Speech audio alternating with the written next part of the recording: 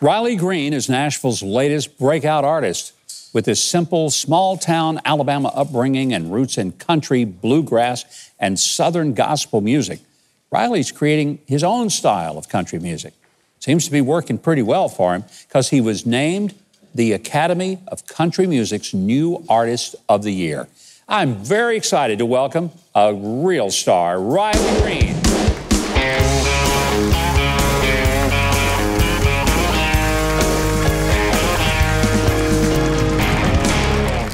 Great to have you here. You know, Riley, I understand you and I both have an affinity for hunting. Yes, sir. And you were down in my part of the world in Arkansas recently, uh, taking some of our mallards home, weren't you? Y'all got a lot more than we do in Alabama. uh, I enjoyed it. It's, it's pretty country out there. What else do you like to hunt?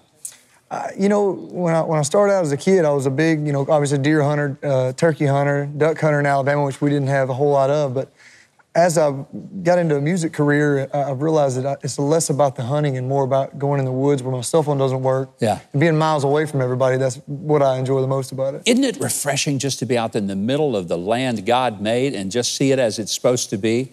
Not a bunch of concrete and building, but just nature as it was made. There's something really special about it. You know, I, I tell people all the time that, you know, maybe don't hunt or never have. There's something enjoyable about being outside in some of those places that you go in a swamp duck yeah. hunt when you would never go for any other reason. And seeing the sun come up out there, you know, it's a, it's a pretty special place. Well, your music is a lot about the life that you have lived.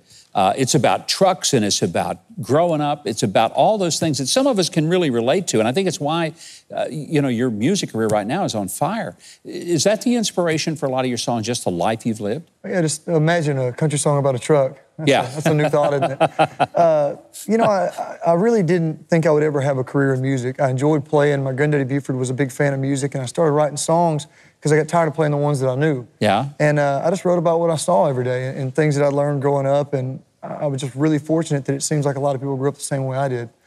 And, uh, you know, now I really try my best, having a little bit of radio success and a national level to, to go home, you know, go back to Jacksonville, Alabama, and really find those roots and keep writing from that same place because that's kind of what got me here. Now, are you Roll Tide or War Eagle?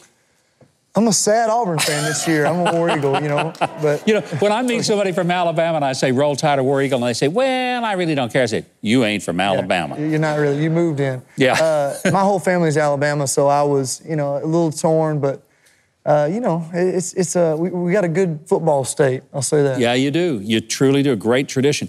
Your music kind of is an eclectic brand of music with a lot of different styles. I mentioned that in the opening, but you have opened for some pretty amazing people. I mean, to go out on tour, open for Brad Paisley, Jason Aldean, prior to the COVID thing, I mean, was that just cooler than life to do that? It's, uh, it still hasn't sunk in. You yeah. know, I mean, and, and it's a tribute to those guys because they've had these 20 plus year careers and it's not by accident. They're great guys. They put on a great show. And, you know, it's, it's, it's helpful for somebody like me that I'm having some success and I've been doing it a long time, but in the national level, I'm pretty new. So see these guys that have been playing these same songs for 20 years and still entertaining crowds and yeah. things they do to keep it exciting. Uh, that's something pretty special that I think the country music world is that everybody's been where I am and they all try to help each other out. Well, it's a, it's a great mark of, I think, the country music business. And I want to say, I hope you continue just to soar to the top because you've got such talent. You're writing wonderful songs that people can relate to. And we're honored to have you on the show. And I'm looking forward to getting to play with you here in a minute. Yeah, I'm excited about it. I've never played with a, a, a host before. This is going to be exciting. Well, you'll, you'll wish you hadn't after I do it, but uh, I appreciate it anyway. Hey, you can get Riley Green's If It Wasn't for Trucks. That's the album. It's sold everywhere.